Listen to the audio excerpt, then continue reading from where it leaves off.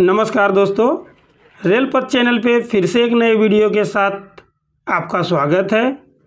आज आप देखेंगे जीएम इंस्पेक्शन में नुक्कड़ नाटक के तहत संपार फाटक यानी एलसी गेट पर लोगों का दुर्घटना कैसे हो रहा है और उससे कैसे बचा जा सकता है। तो आपको यह वीडियो में आपको दिखाएँगे ये एक नाटक है, लेकिन आपको इससे बहुत काफ़ी ज्ञान मिलेगा। तो ठीक है, आइए अब वीडियो मैं शुरू करता हूँ।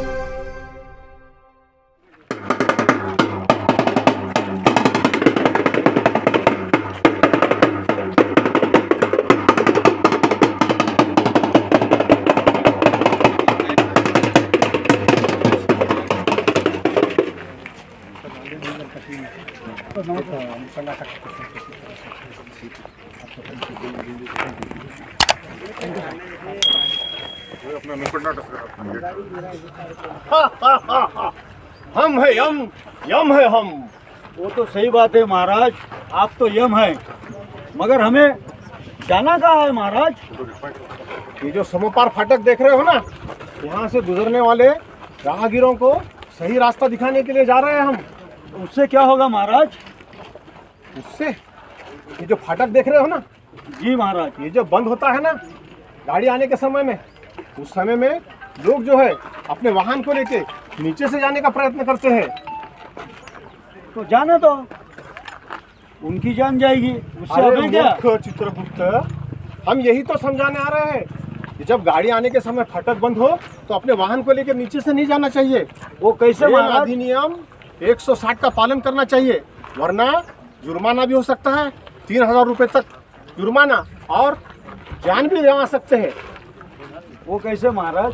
वो वो ऐसे अभी आँखों देखा हाल आपके सामने बताने जा रहे हैं। देखिए किस तरह से दुर्घटना होती है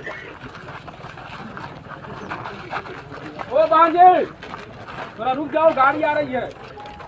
गाड़ी जाने के बाद जाओ। अरे तू कौन होता है हमको रोकने वाला? तू जानता नहीं हम कौन है? मैं सरपंच की बहू हूँ। मुझे तो रोक नहीं सकता मैं जा रही हूँ मुझे रोकना नहीं मुझे बहुत जल्दी। रुक जाओ गाड़ी जाने के बाद जाओ ना। अरे ओ मूर्ख हमें पता है गाड़ी आ रही है। लेकिन हमें जल्दी है जाने दो। अरे पागल लगता है।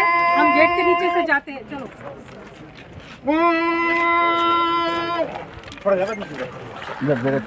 इधर से आएगा लोग उधर से आएगा।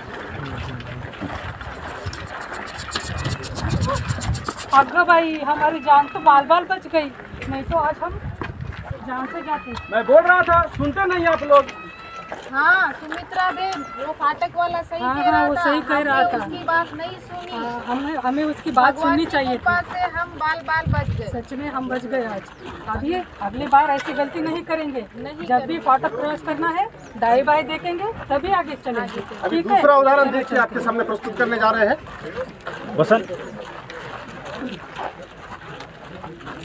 ओ भाई क्या हड़बड़ी है? मोटरसाइकिल सवार आगे बढ़ने के गेट के आने निकल के आगे बढ़ने की कोशिश कर रहा है। दो मिनट रुक जाओ। ए ज़्यादा होशियारी मत दिखा।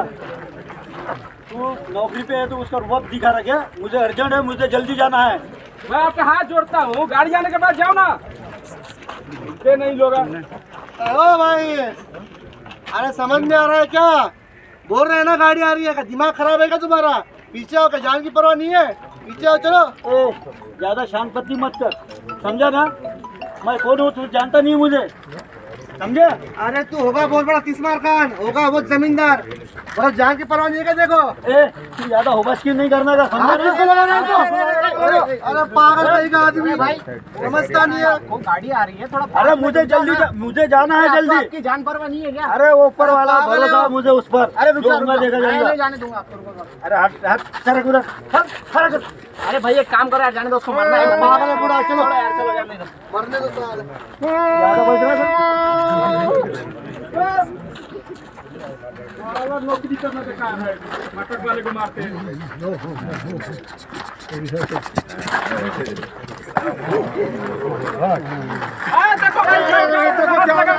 है, हो है, हॉस्पिटल चलो चलो उठाओ जल्दी उठाओ जल्दी उठाओ जल्दी उठाओ अरे मैं बोला था ना होशियारी घुस गई बाबा चल अभी बोलता हूँ तो साथियों अभी आपने देखा तब फाटक के नीचे से निकलने का प्रयत्न न करे मोटर वाहन अधिनियम का पालन करे, रेलवे एक्ट 160 का पालन करे 160 जिस, यदि कोई पालन नहीं करता है तो उसके लिए जुर्माना हो सकता है। और अभी आपने देखा कि जान भी जा सकती है।